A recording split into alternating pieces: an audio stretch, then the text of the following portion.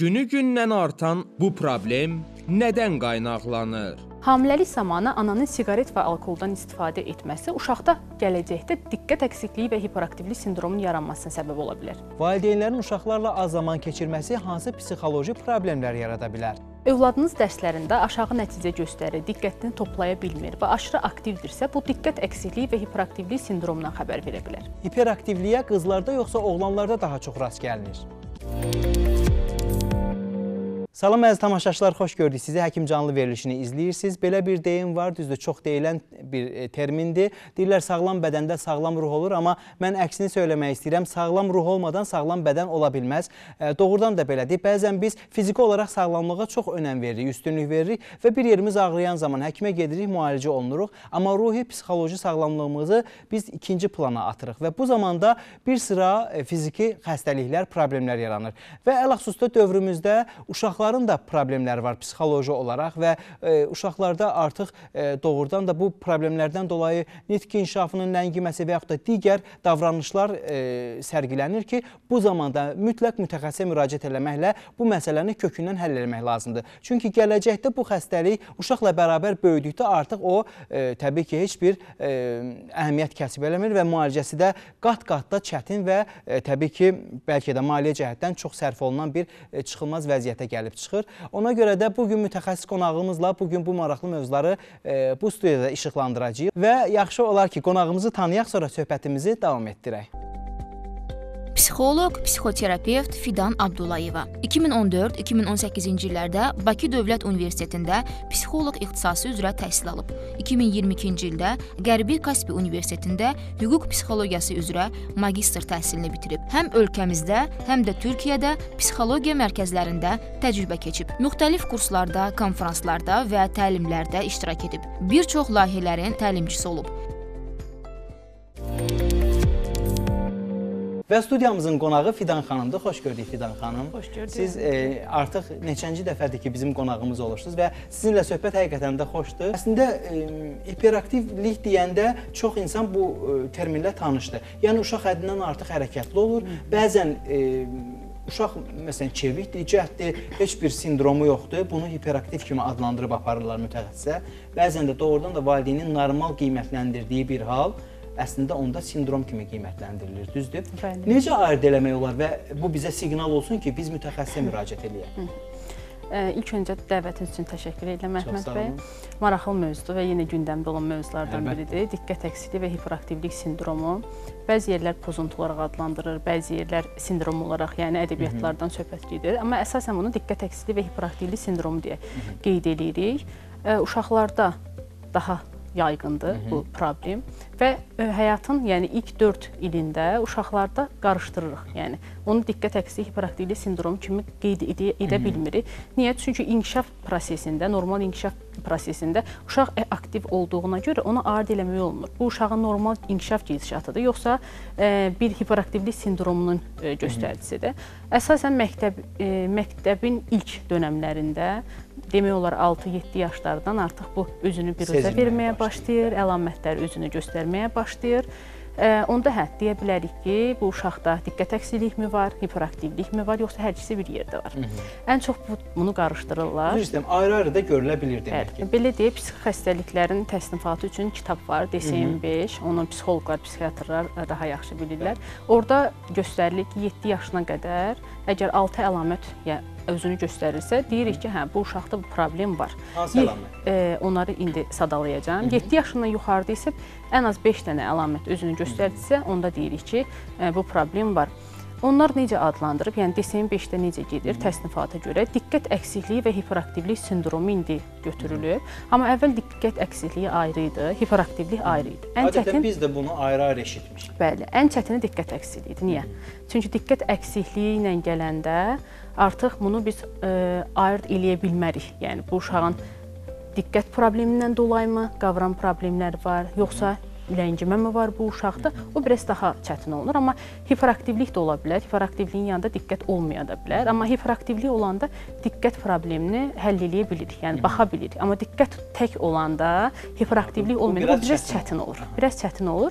Düzdür, az rastlanan bir durumdur, amma rastlanır və diqqət əksikliyi və hiperaktivlik sindromu kimi gedir və onun alt başlıqlarıdır deyək. Diqqət əksikliyi ayrı, hiperaktivlik ayrı.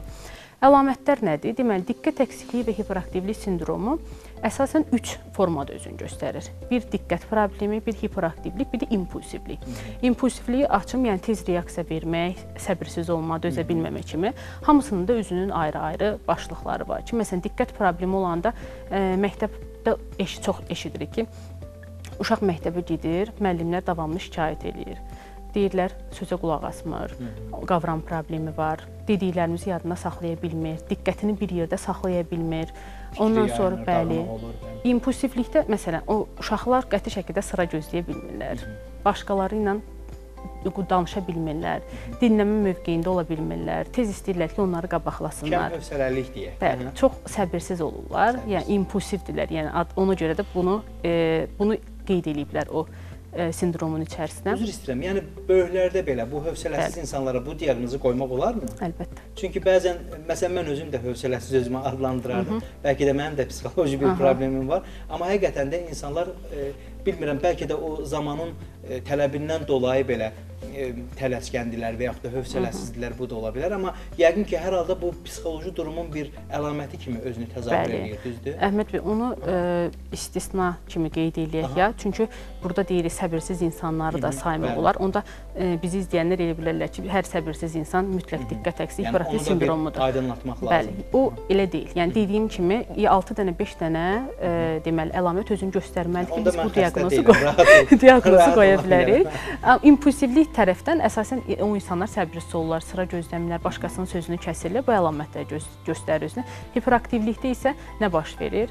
Yerlərində otura bilmirlər qəti şəkildə. Əgər məsələn elə bir nəyisə qatıla bilərlər, orada qayda sırf oturmaqdır da. Onlar qəti şəkildə otura bilməyəcəklər. Mütləq yerində az da olsa hərəkət eləyəcəklər. Bəzi psixoloji problemlər yarana bilər. Onlardan biri özgüvən əksikliyidir, davranış pozuntularıdır, depressiyadır, hansısa maddədən asılılıqdır. Bəli, bunların hamısı özünü göstərə bilər. Əvvəlki zamanlarda zaten e, hiss eləmirdilər. Yəni keçmiş dövrlərdən danışıram.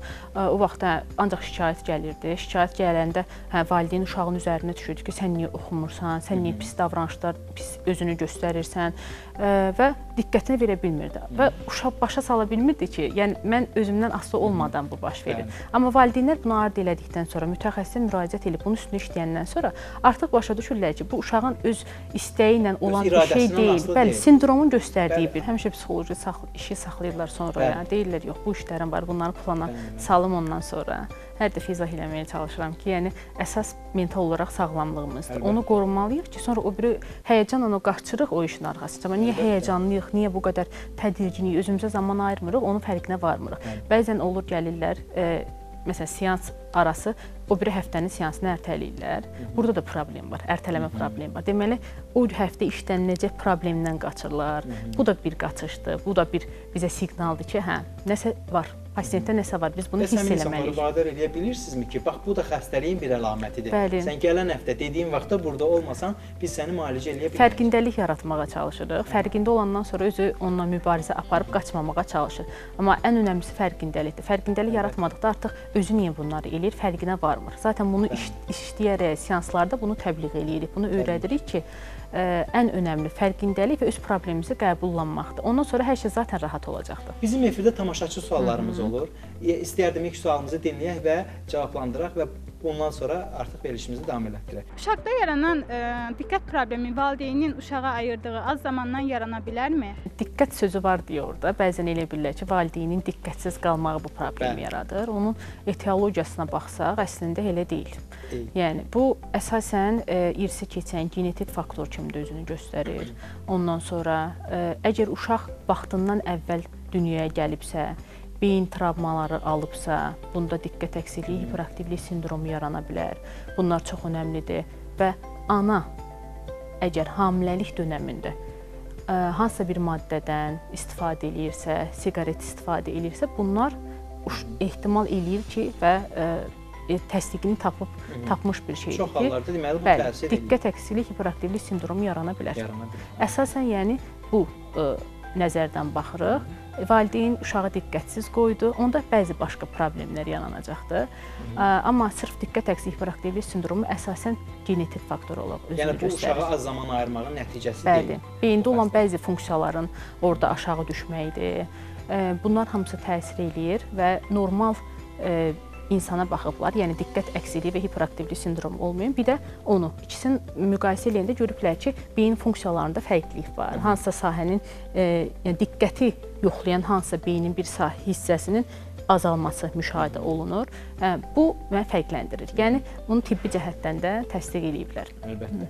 Ona görə də yəni e, bəzən valideynlər özlərini qınayırlar, bəzən doğrudan da qınamalıdılar ki, psixoloji xəstəliklərin əksəriyyətində e, mühitin mühit faktoru çox əhəmilidir. Bu ailə də ola bilər, çevrə də ola bilər, cəmiyyət də ola bilər. Yəni bu kimi şeylər təsir eləyir sözsüz ki, amma bu cəhətdən bu xəstəlikdə çox da elə e, demək ki, təsiri yoxdur. Digər xəstəliklərdə olsa da bunda elə bir təsiri yoxdur. Ona görə də e, özlərini bu şeydə günahlandırmasınlar, amma ən azından e, valideynin məsul olduğu bir şey də var ki, bunları hiss eləyən zaman Mür- mütəxəssisə müraciət bəli, eləmək. mütəxəssisə müraciət eləsin.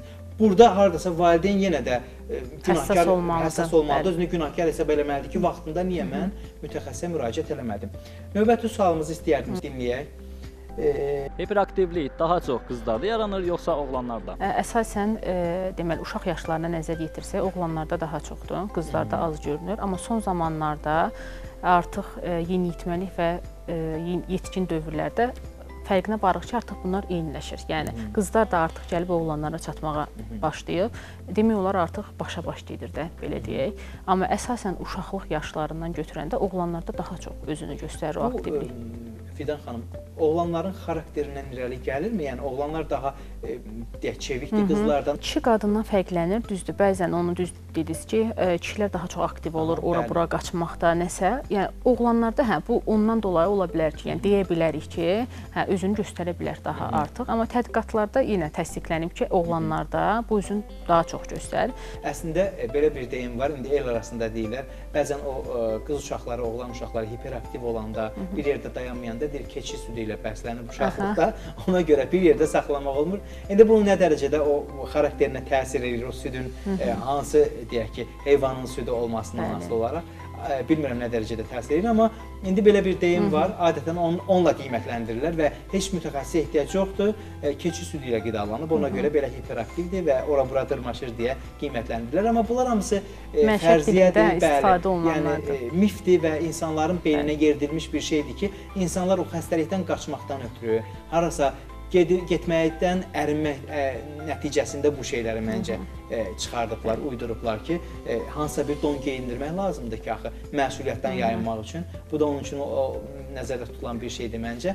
Ən əsası, ən yaxşısı olar ki, mütəxəssisə müraciət Bəli, olunsun. vaxtı Və bu ə, nə vaxta qədər həll olunmalı məsələdir. Çünki ola bilər ki, valideynlər var, 6-7 yaşında uşaqları var, fikirləşirlər ki, artıq gecdir, gərək mən məsələn 3 yaşında gedərdim. E, Birinci onu deyim, e, anada, atada varsa, uşaqda görülmə ehtimalı var. Uşaqların birində varsa, bəli.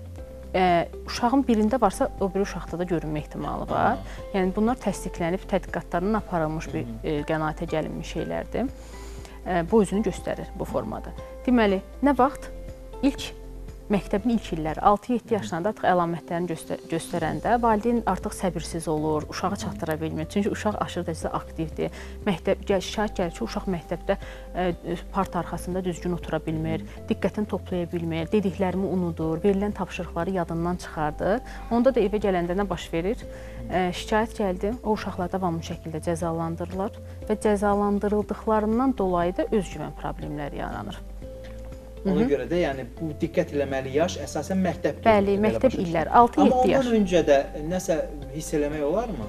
14 yaşa qədər dediyimiz kimi əvvəl başda qeyd elədik. 4 yaşa qədər uşaq normal inkişaf gedişatında aktivlik göstərə bilər deyə ona ayırd eləmək çətindir. Amma məktəb illərinin ilk dövrlərində əsas bu simptomları hiss edib müraciət edirik. Bəli, daha dəqiq görə deyə bilərik. Ona qədər gözləmək olar. Amma yeniyetməlik dövrlərinə qədər bu davam eləyir bu problem. Bəzilərində ə, müəyyən bir müddət deyim keçib gedə bilər. Bəzi şeylər amma qalır. Məsələn, ye- yetkin insanlarda hansısa bir işin axıra kimi görə bilmirlər. Davamlı hansı işi deyirlər bu gün işini sabaha saxlama. Onlarda o Bəli.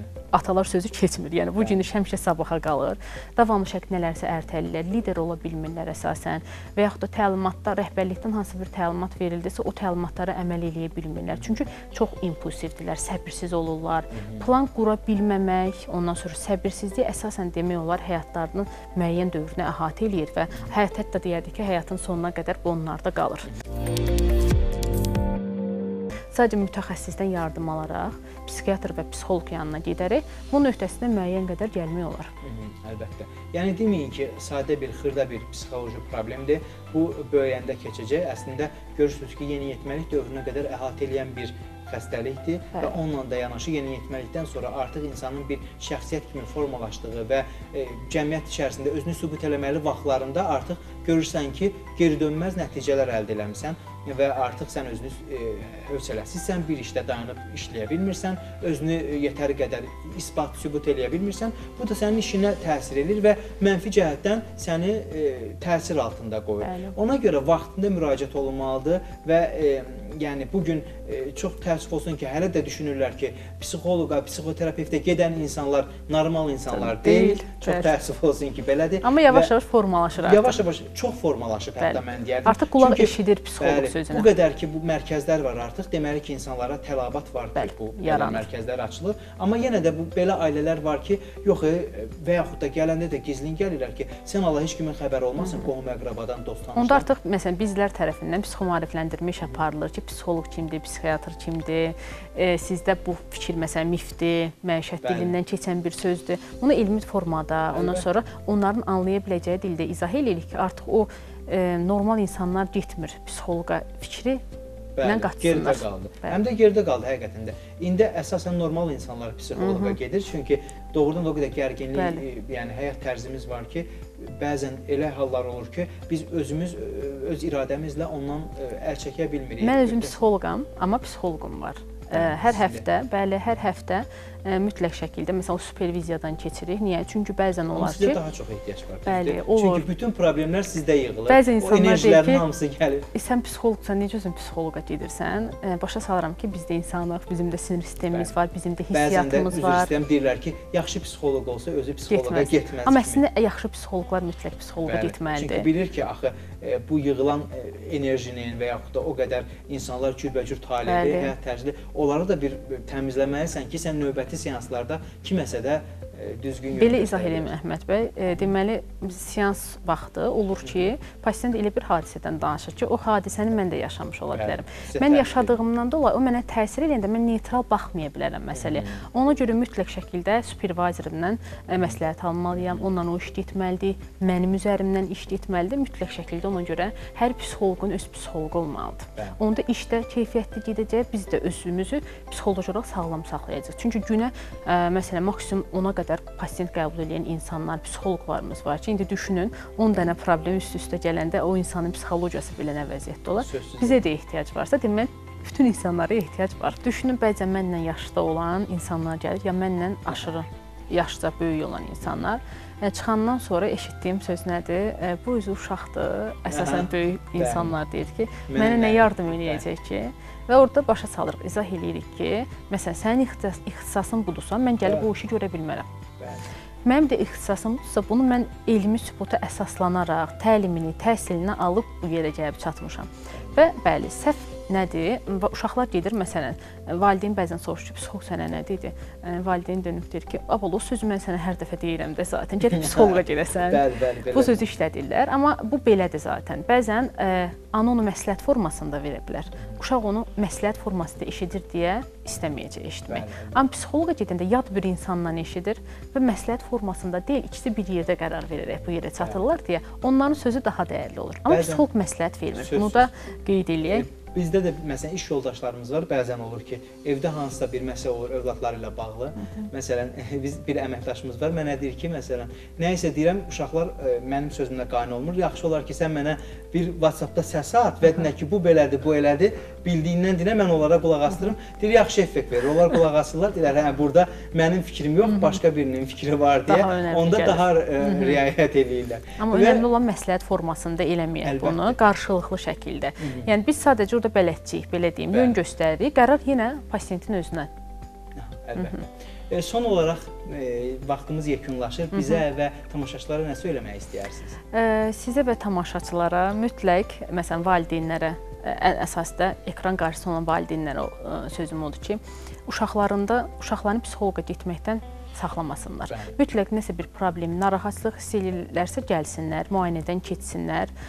Bu çox önəmli bir faktordur. Yəni məsələdir ki, baxmalıdırlar. Niyə? Çünki dediyimiz kimi diqqət əksikliyi və hiperaktivlik sindromu son zamanlarda daha çox yayılan problemlərdən biridir və mütləq psixiatra müraciət eləsinlər ilk öncə bunun diaqnozunu qoymaq üçün. Ondan sonra hər ikisi ilə bərabər psixiatra, psixoloqun sayəsində bu iş gedib nəticə verə bilən bir işdir və ehtiyatlı olmalıdırlar. Niyə? Çünki vaxtı zamanında həll olmayan bu məsələ gələcəkdə dediyimiz kimi öz güvən problemidir, davranış pozuntusudur, maddi asılılığıdır, depressiyaya gətirib çıxara bilər və depressiya, öz güvən əksiliyi ilə gələn insanlar sonra artıq araşdırırıq ki, bu uşaqda uşaqlığından bu insanda diqqət əksikliyi, hiperaktivlik sindromu olub deyə hal-hazırda bu vəziyyətdədir. Və onu da qeyd eləyim ki, diqqət əksikliyi və hiperaktivlik sindromunda müəyyən bir testlərdən istifadə olunur. Məsələn, ona əsasən Moxo testləridir, müəyyən diqqət testləridir. Məsələn, deyir ki, burdon diqqət testi və hal-hazırda son zamanlarda Attention ə, deməli proqramı var, 15 seanslıq proqramdır.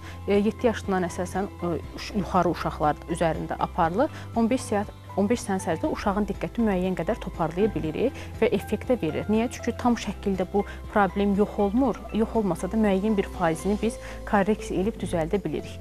Ə, və müalicə üsulları da budur və ilk deyim bu problemləri psixoloq yox, həkim psixiatr tərəfindən diaqnozu qoyulur, ondan sonra hər ikisi ilə paralel işlənilir. Bunu da unutmasınlar. Çox sağ olun, təşəkkür edirəm. Siz sağ olun, Əhməd bəy. E, təşəkkür edirəm ki, gəldiniz, maarifləndirdiniz. Tamaşaçılara da təşəkkür edirəm ki, bizi izlədilər.